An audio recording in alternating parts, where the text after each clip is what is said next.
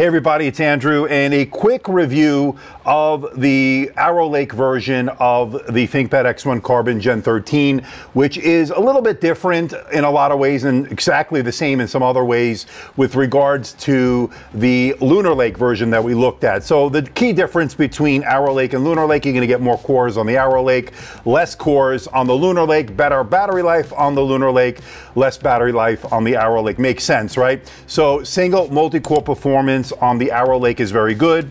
Uh, but honestly, using it in real world usage, I didn't notice a huge difference between that and Lunar Lake, even though the Lunar Lake has less cores, uh, less threads, no hyperthreading that this does have. So uh, it's kind of a, a, wash in that area. I didn't see a huge difference in real world performance. Now, the graphics on the Lunar Lake are actually better than the graphics on the Arrow Lake. So you're getting integrated graphics here. Not terrible, but not great either. So when we compare it to the uh, Intel Arc 140V graphics that you get on Lunar Lake, it's a lot better than this one. So uh, if you're going to do anything kind of graphics intensive on the road and so forth, I would opt for Lunar Lake. Now, when it comes to performance, CPU performance, it is better on this. But again, like I said, I'm not noticing a, a, huge difference in real world performance. So when doing Microsoft Office, email, web browsing, I didn't notice a huge difference on this. Now, the other thing to keep in mind is if you need certain RAM requirements. Now, I know a lot of LLMs dealing with AI, the more RAM, the better. So one of the reasons I was interested in the Arrow Lake version is that that can get up to 64 gigabytes of memory, which is what I have here, uh, non-upgradable memory but you're limited to 32 on Lunar Lake. So if you have a specific need for more RAM, so this is the clear choice here because you can get this with the 64 gigabytes of memory. Now, I got the optional OLED display with the touch screen here, and it's 120 hertz. It's absolutely gorgeous. Yes, it weighs a little bit more, maybe a little bit more than a kilogram, whereas on the Lunar Lake non-touch OLED that uh, Lenovo sent over for me to review, that one came in under a kilogram. But when you're traveling, throwing this in your bag, I didn't notice a huge difference. It's not that much uh, heavier than the Lunar Lake version, even though that is sub one kilogram. That is truly remarkable. The build quality is the typical ThinkPad build. It's built like a tank in a lot of ways, made to take a licking and keep on ticking. So that has not been an issue. Love the keyboard here in terms of the key travel, overall feedback. Typing on this has been a pleasure. Key, the keys, everything works out well. It's backlit, and of course, that's great. Now, I opted for the Sensel haptic touchpad here. So this is the haptic touchpad. Of course, you can go with a traditional touchpad with the physical mouse buttons, but I found that the touchpad here was really good. You can fine tune the sensitivity and the settings. You can play with the haptic engine feedback to see what you like as far as the sensitivity and so forth. And I found that scrolling, doing all your gestures, everything worked out really well on this one, of course. So uh, I would opt for it even on the Lunar Lake if you can. Uh, if you have the choice there, obviously go with the Sensel as far as I'm concerned. I know traditionalists want those physical mouse buttons, especially when you're using the track point, which of course is present here. Then go with the traditional, and it's fine. You won't have any issues scrolling, gestures, and of course responsiveness. It's all fine. I just like the uh, added layer of uh, feedback you get on this haptic engine here on this uh, force pad here. Now, that being said, it is really, really good. Now, I opted for the 5G on this one. So this modem actually came in really handy. I just came back from Palo Alto on a trip that I will be telling you about very soon. So stay tuned. I can't talk about it just yet, but I got an inside look at something really special. So I was in Palo Alto uh, going through some things there, and I brought this laptop with me because it has the built-in 5G that I opted for, and I was able to be connected everywhere I went, secure connection, pretty much everywhere uh, that I needed to be. Got the work done I needed to get work done, and of course the fact that it is thin and light, throw it in your bag, and it worked out really well in that regard. So it didn't weigh me down. Had always on connectivity. I had the touchscreen here. I had the gorgeous OLED display. Now, the OLED display here is 500 nits of br brightness, of course, and when it's on HDR can peak a little bit higher. Uh, on the non-touch OLED that I looked at with the Lunar Lake version of this laptop, that peaked at about 400 nits, so higher nittage here, or not nittage if that's even a word, higher brightness here on this uh, Arrow Lake version. Okay, a couple of differences between the displays. They are both OLED, both 14 inches, both 120 hertz, so that is where the similarities are. The differences, of course, is this one is a touchscreen display on this uh, Arrow Lake, the Lunar Lake version, non touch. This one gets 500 nits of brightness. The Lunar Lake can go as high as 400 nits. And then I believe there's a non touch version that goes up to 500 nits. This one, I believe, is the 400 nits. Uh, this one is a little bit brighter and has a better anti reflective anti-glare coating than this one, so a little less glare and reflection on the touchscreen, believe it or not. So that is the difference between the two. But again, they're both 120 hertz. Both excellent displays. Now, because this doesn't have a touch layer, they're able to get the weight down under a kilogram, or one of the reasons they're able to get it under a kilogram. This is a little bit over a kilogram. So there's not that much difference in weight when you're, when a real world, all said and done, when you're traveling, that is a minimal amount to really uh, think about, and you won't really feel it. All right, let's talk ports here, and they both have the same port selection. On the left is your USB A port, two Thunderbolt 4 ports that are full function, and the optional SIM card tray if you go with the 5G or 4G LTE modem.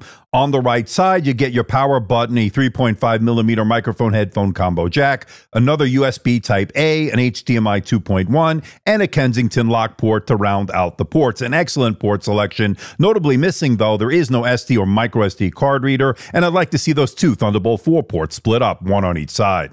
Now, when I ran the Time Spy stress test, I got an interesting result here. The Arrow Lake actually did better than the Lunar Lake, getting a passing score of 99.5%, although both didn't really exhibit much throttling at all. Now, as far as the surface temperatures under load, very similar result as you can see there. On the underside, never getting overly hot, so you can use these laptops, either Lunar Lake or Arrow Lake, on your lap, so not a problem there. And fan noise can reach as high as 48, 49 decibels on both of them under heavy load. But when you're doing your balance mode, doing everyday tasks, it was not much of an issue. So they stayed relatively cool and quiet throughout. Uh, the only thing you will not do as well as you did on the Lunar Lake is battery life. So they have the same, I think, 57 watt hour battery, and it did uh, pretty pretty okay. I mean, it didn't do groundbreaking. It did a little bit less than Lunar Lake, but not that much less. And again, we're talking about OLED displays, which tend to draw more power. And having the touch layer on top of that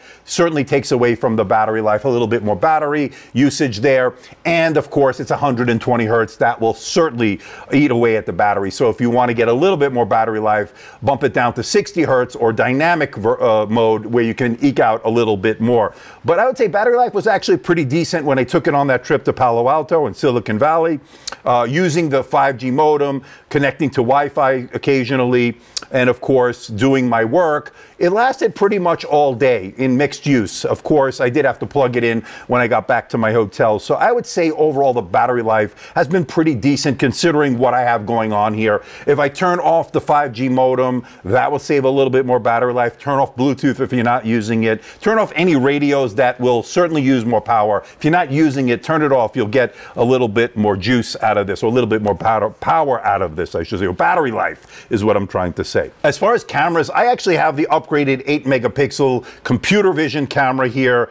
Uh, which was excellent. And I didn't have it on the Lunar Lake version, although I think it is an option if you if you go for that in the configuration of it. So uh, I would recommend going with that. But of course, you be the judge. You let me know what you think in the comment section below. Let's compare them and get a look and a listen at them. So this is the camera on the brand new ThinkPad X1 Carbon Gen 13 running the Arrow Lake U processor, the Core Ultra 7 265U, 12 cores, 14 threads, hyper threading. It's a little bit different than Lunar Lake, but what do you think about the video quality and what do you think about the audio qualities? This is the computer vision 8 megapixel camera, 1440p video in this uh, Windows app, but of course, if you go with other apps, you can go up to 4K, and it is uh, pretty good. What do you think about it? Let me know. What do you think about the audio? Let me know. Now, a couple of things. It is an IR camera. That means you can log in with face recognition with Windows Hello. And it also has a physical shutter switch next to the camera for more security and privacy. Again, let me know what you think in the comments section below. And this is the other version that they have in terms of the camera. This one's 1080p. What do you think about the video quality? What do you think about the audio quality? And like the 8 megapixel one, this is IR, meaning you can log in with face recognition with Windows Hello, and it also has the same shutter switch. Uh, but of course, it's not 8 megapixel, doesn't have any of the a uh, little bit more sharpness that the other one does have. But again, let me know what you think in the comment section below. Now, speakers, I didn't find any difference in terms of audio between the Lunar Lake and this one, of course, Arrow Lake. I would say it's a wash in terms of the sound. They have Dolby Atmos here. That's going to help with the spatial audio. Uh, pretty good, loud, got decent bass, especially for a thin and light, ultra portable as we have here. Certainly great. Not as good as a MacBook Pro or even maybe, maybe a, uh, a MacBook Air, I would say, is a little bit better than this. But this is actually pretty good considering uh, the size and of this. Of course, thin and light is the name of the game. But of course, let me know what you think. Let's give it a listen, and you tell me what you think in the comments section below. Lunar Lake.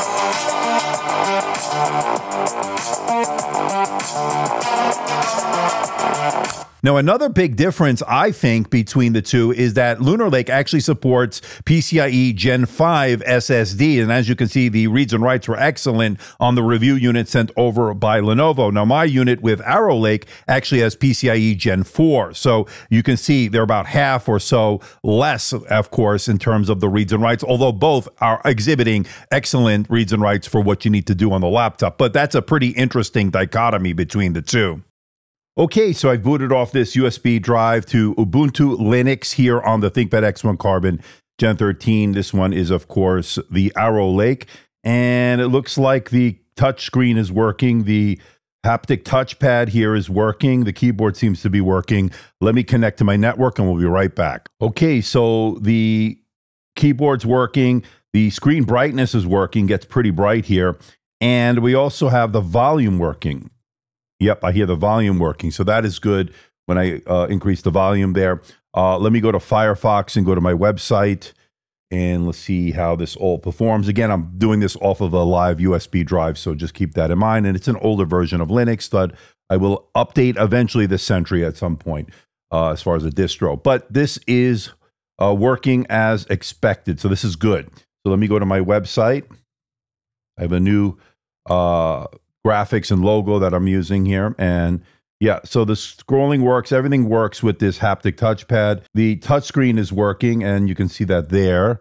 So that is great. Awesome. All right. So the camera is the only thing here like I need to check. Let's see if the camera's working. And let's see if that is no camera found. So once again, we have an issue with the camera, but everything else seems to be working. We'll have to do a workaround regarding the camera. Hopefully, there is a solution there. But overall, Linux is working. So overall, what do I think about this Arrow Lake version of the ThinkPad X1 Carbon Gen 13 Aura Edition? A lot of things to say there, a lot of big name there.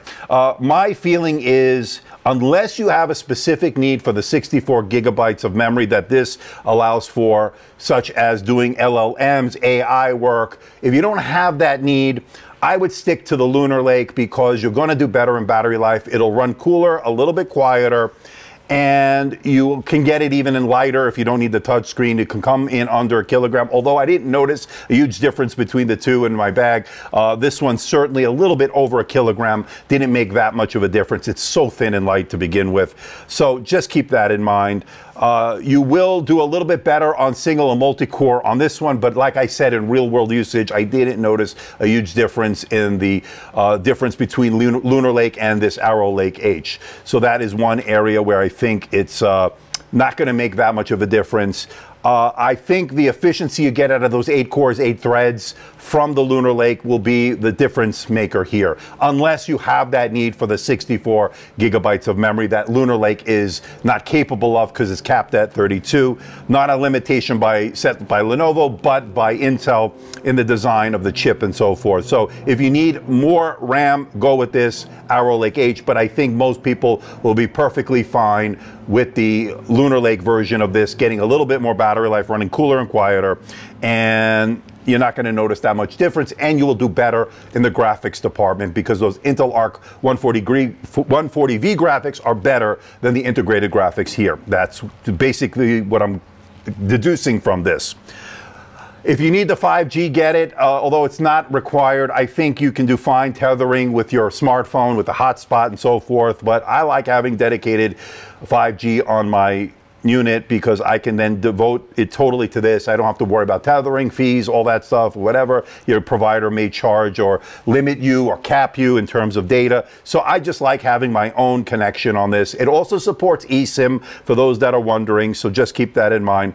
But very similar other than that. Those are the differences between Lunar Lake and Arrow Lake. And I think uh, if you don't want to go for the 64 and you're okay with 32, which I think most of you will be, go with the Lunar Lake. I think you'll do fine, and you may even find it on sale. This has just been released, obviously. Now, I think there is also an Arrow Lake H processor that this may be available in in certain regions. I did not find it here in the U.S., but if you know about it, if you're out of the U.S. in a different region, and they are selling the Arrow Lake H version, uh, let me know. And if you have one, let us know how that's turned out for you. I hope this has been helpful for you as far as which X1 Carbon Gen 13 to go with. Again, the bottom line is better graphics on the Lunar Lake, better battery life on the Lunar Lake, and better efficiency and overall better cooling on the Lunar Lake because of it has less cores to deal with. Uh, if you need 64 gigabytes of memory, go with the Arrow Lake. I think that pretty much sums it up here, but let me know what you think in the comments section below. So please hit the like button, please subscribe, please share this video. Don't forget to leave a comment in that comment section below and let me know how I'm doing. And if you are a casual viewer of my content, why not hit that subscribe button? It doesn't cost you anything as we're making our big push for 300,000 subscribers here in 2025. It just blows my mind that we're even talking about that here in August of 2025. But I am certainly appreciative. If you're going to buy something like the X1 Carbon Gen 13, check out the links in the description below. Yes, they are affiliate links. No, they are not a huge commission commission, a small commission, to help support the channel. Helps keep the lights on the studio even though I'm in my backyard by my pool. And by the way, this is not an AI image. I know some people were saying this was done virtually or, or whatever. I saw some of the comments on some of the videos I did out here. Uh, this is real. I actually have a pomegranate tree behind me. You can see it over there and that should be ready in November. So we should have some great pomegranate juice and fruits and so forth. So just wanted to point that out. That is real. That is a real pool, and I'm about to jump in right now. I don't think you want to see me with my bathing suit on, my shirt off, but who knows? Maybe you do. I don't know. I'm about to jump in the pool, but until next time, this is Andrew, and I'll see you in the next video.